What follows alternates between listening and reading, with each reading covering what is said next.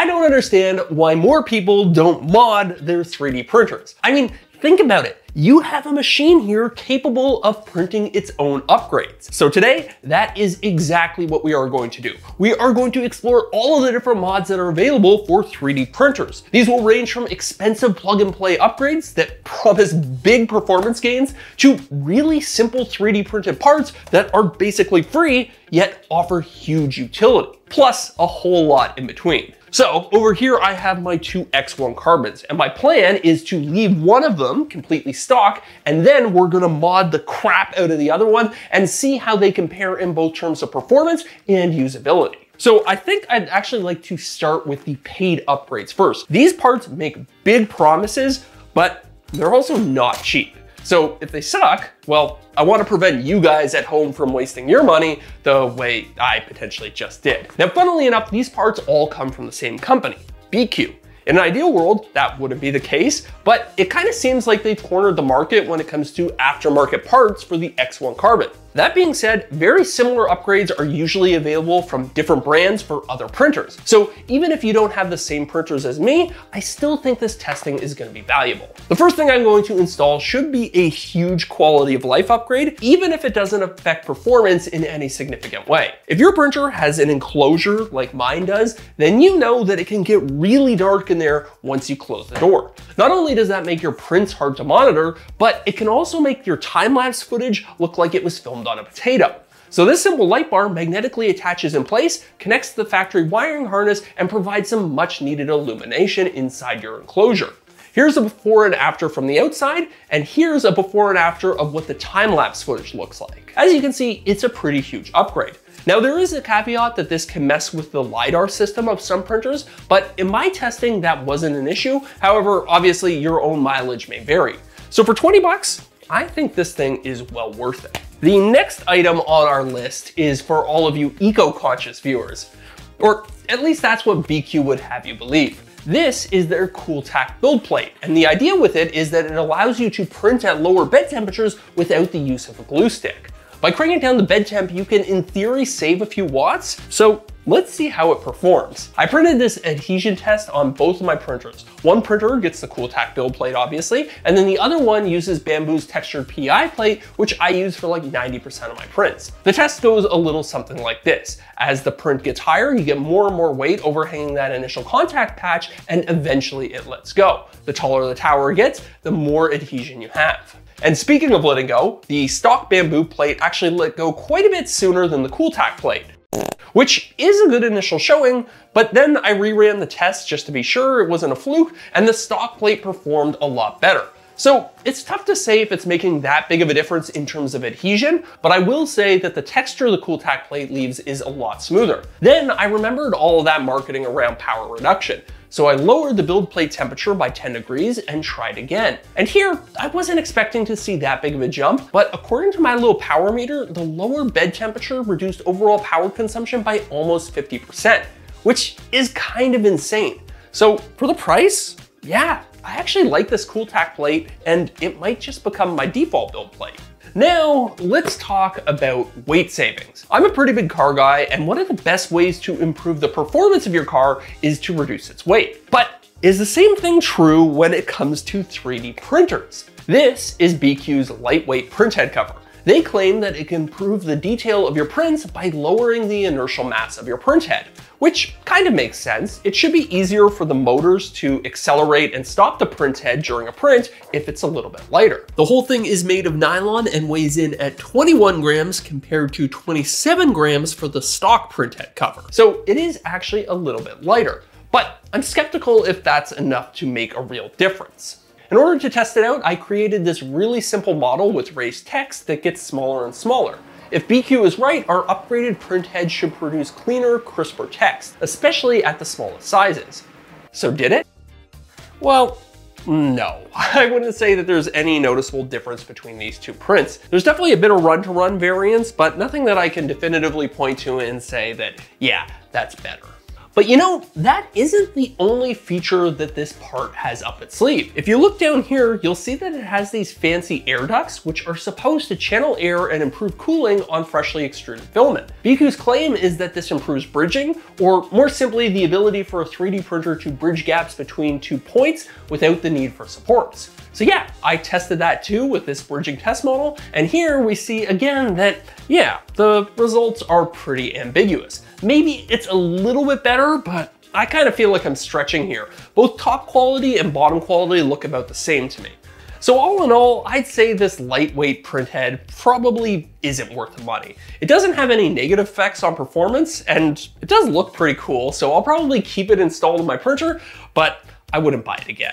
Now, if you permit me, I'd like to dispel one of the bigger myths surrounding 3D printing. See, most people think that 3D printers are limited by how fast the head can move around.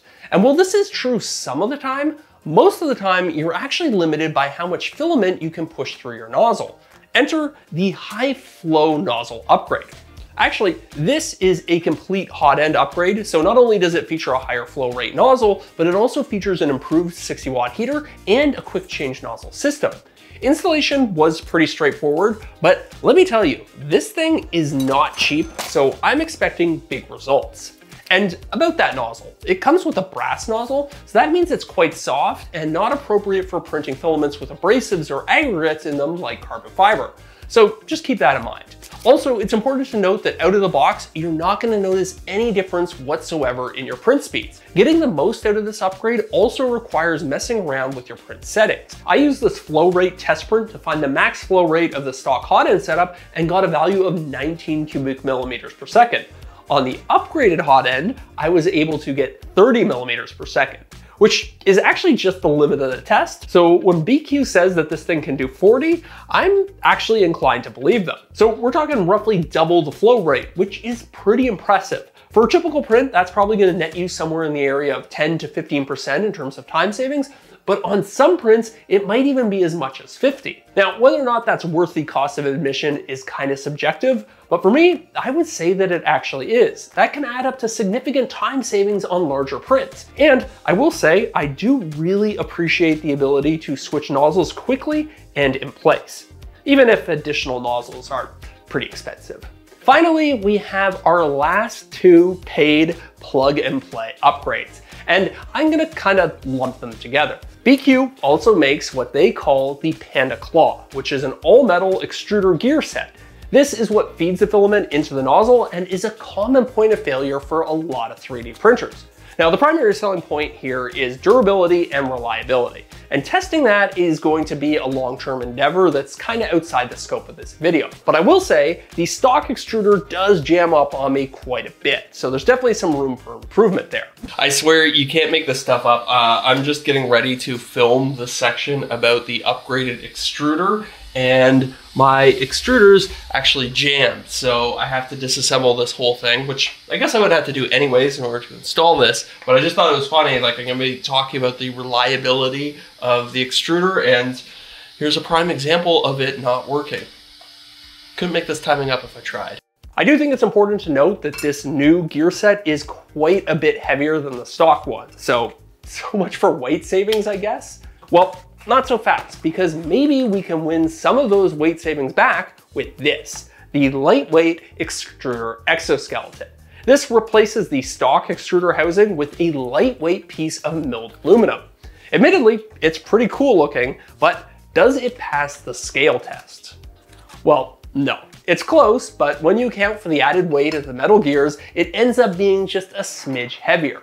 On its own, it might be a couple of grams lighter, but look, Based on our test from earlier, we know that that's not gonna make a real difference. So all in, I would rebuy the build plate, the light, and the improved hot end if I had to do it all over again. The metal gears are kind of a wait and see thing. I'm cautiously optimistic. And as for the weight savings part, I'd skip those unless your goal is to just make your 3D printer look as cool as possible. Next, I wanna do something that's a little bit more DIY. But first, do you hear that? That is the peaceful sound of silence. And you know why?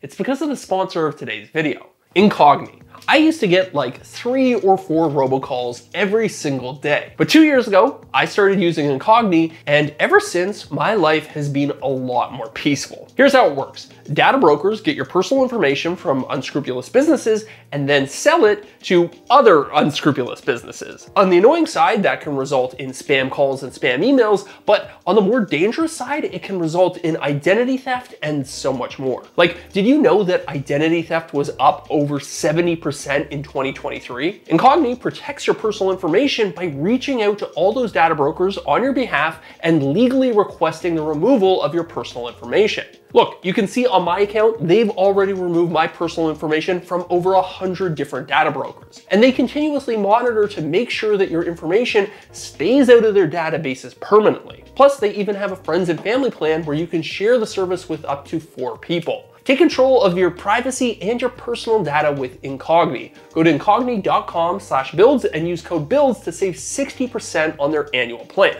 And speaking of peaceful silence, let's get back into this next mod. This is butyl rubber, and if you've ever seen any of my speaker projects, you might know where I'm going here. This stuff is great at absorbing vibrations and deadening sound transmission. It's really widely used in the car world to help isolate car cabins from road vibrations. My hope is that it will make the printer quieter, but that's also just a side benefit. Installing it was a little bit tricky because some of the clearances inside the printer are quite tight. So if you're gonna attempt this at home, make sure that you frequently check and make sure all the moving parts still work. Then, on top of the butyl rubber, I'm layering on this closed cell foam, which will further enhance the primary reason I added both of these materials, insulation. Insulating the chamber will hopefully give us a couple of benefits on top of quieting down the printer. For one, certain materials print a lot easier if you can keep the chamber nice and toasty. And two, it should make the printer and the bed heat up faster and consume less energy. Again, clearances were pretty tight, so I couldn't get it everywhere, but I figure that something is better than nothing. But maybe that isn't the case, because I gotta say, I was very surprised by these test results. Maintaining an 80 degree bed temperature for an hour required pretty much the same amount of energy. And at the end of that hour, our chamber temperatures remained pretty much identical. There was definitely a slight improvement in terms of sound transmission, but honestly, I gotta say, I don't think that this particular mod is worth it. I think the whole case is just too leaky for lack of a better term. And if you really wanted to see a big improvement, you need to cover both the glass panels and add some sort of weather stripping to the front door. But hey, if you wanna try this mod at home, I'll link both of these materials down in the video description as well. Moving right along, let's get into the part of this project that I am the most excited for, we are going to print a whole bunch of mods. And I'm excited here because the value proposition is huge. These parts are basically free if you have a little bit of leftover filament, which let's face it, we all do. And speaking of filament, what is the biggest enemy of filament? That's right, it's moisture. If you're ever having problems with your 3D prints, your first troubleshooting step should almost always be drying out your filament. And no, your filament isn't dry just because it's a fresh roll. Trust me, I've learned the hard way that many filaments come from the factory pretty damn damp. So if your printer is anything like mine, it has a drying setting built into it that uses the bed heater, or you can invest in an external filament dryer like this one. But then once you dry out your filament, it's gonna immediately start absorbing moisture from the air again. So I like to print out these little desiccant holders that go inside all of my spools. These little orange balls love to soak up moisture, and if placed in a sealed enclosure with your filament, like the AMS or a spool holder, they will keep your filament nice and dry. Heck, they might even be able to pull a little bit of moisture out of your filament, though it's no substitute for a good proper drying. So that's level one, but what if you wanna go even deeper? Well, if a little bit is good, then even more is better, right? So I also printed out these little bins that fit inside all the voids in my AMS. And now I can add an absolutely ludicrous amount of desiccant to my AMS and keep all my filament drier than the desert.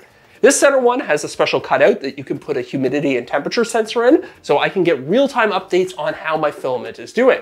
And you can see it actually makes a pretty big difference. Here's my one AMS with no desiccant, and here's my new upgraded AMS. Next, I wanna fix a very common and very annoying occurrence. Basically, every print requires removing and reinstalling the build plate at some point. But I'd say every one in 10 attempts, I don't put it back in perfectly. If you're lucky, your printer will catch it and you'll just get an error, but sometimes it doesn't catch it and you can end up losing an entire print. Enter the build plate guides. Very simple little inventions, but these clip onto your printer's bed and guide the build plate back into position. Now, most printers already have something like this, but if yours is anything like mine, then they don't work nearly as well as they should, and these are much better. Oh, so much better. Easy. And they print in like no time at all. Moving right along, another very common problem that I think anyone with an enclosed 3D printer can relate to is that a lot of crap ends up falling off the bed and getting trapped inside the bottom of your printer. And to make matters worse, most of them have a little lip that prevents you from just sweeping it all out. So another very simple mod is this little wedge that you can print out and place at the front of your case. It makes it so much easier to keep your printer clean and operating smoothly. And in a similar vein, I print out a whole bunch of little dust covers for the various openings and crevices inside the printer. These take next to no time to print and offer some nice peace of mind because you know little bits of crud are gonna get stuck in all those hard to reach places. And if you're keeping the inside of your printer clean, well, you should probably do the same thing with the outside too, right? I spent a long time printing this, but this AMS riser system has a ton of functionality. First and foremost, it lifts your AMS up and out of the way, which gives you better access to the top glass of your enclosure. Not only does this make servicing the machine easier, but it also allows you to reposition the glass and vent the printer for printing certain types of plastic. It's also got built-in plate holders. There's these little drawers that I use for storing miscellaneous parts.